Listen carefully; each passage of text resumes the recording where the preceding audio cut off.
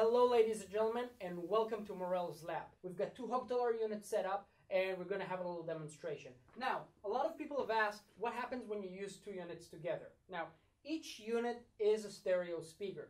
It has a right channel and a left channel. But if you pair two of them together using TWS, which stands for True Wireless Stereo, each unit becomes a mono speaker and the left channel plays the left channel and the right channel plays the right channel.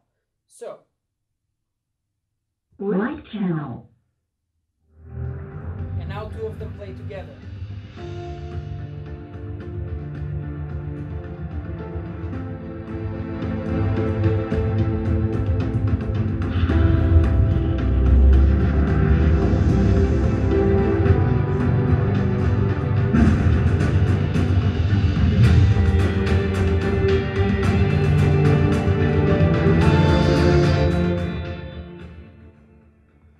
That's it.